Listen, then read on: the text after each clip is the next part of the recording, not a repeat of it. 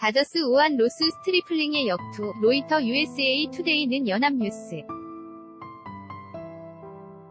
서울는 연합뉴스, 이대호 기자는 미국 프로야구 메이저리그 MLB 로스앤젤레스 다저스가 4연승 행진으로 상승세를 이어갔다. 다저스는 16일 한국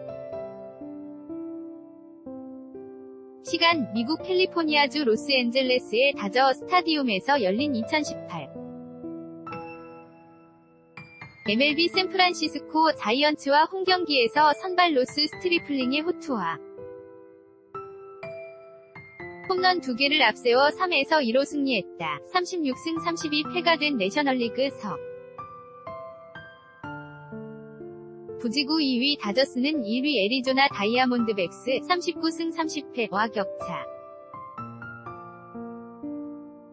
를 2.5게임으로 유지했다. 다저스 선발 스트리플링은 6과 3분의 1 이닝을 4피안타. 6탈 3진 2실점으로 맞고 시즌 6승 1패째를 수확했다. 평균 자책점 1. 인스트리플링은 붕괴 직전까지 갔던 다저스 선발진을 꾸준히 지켜주며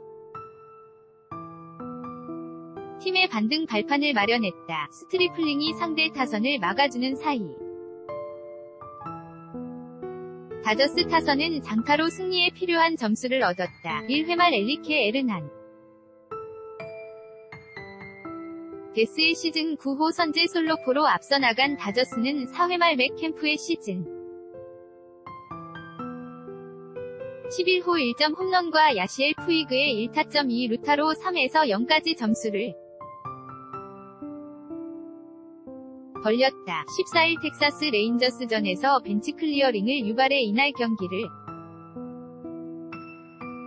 앞두고 메이저리그 사무국으로부터 1경기 출장 정지 처분을 받은 켐프는 항소를 결정해 정상적으로 경기에 출전했다. 샌프란시스코는 7회 초 파블로 산도발의 시즌 5호 2점 홈런으로 1점 차까지 따라갔지만 다저스 불펜을 넘지 못하고 무릎을 꿇었다. 사비유엔 골뱅이 YNA.co.kr 2018년 6월 1일 64시 23분 송고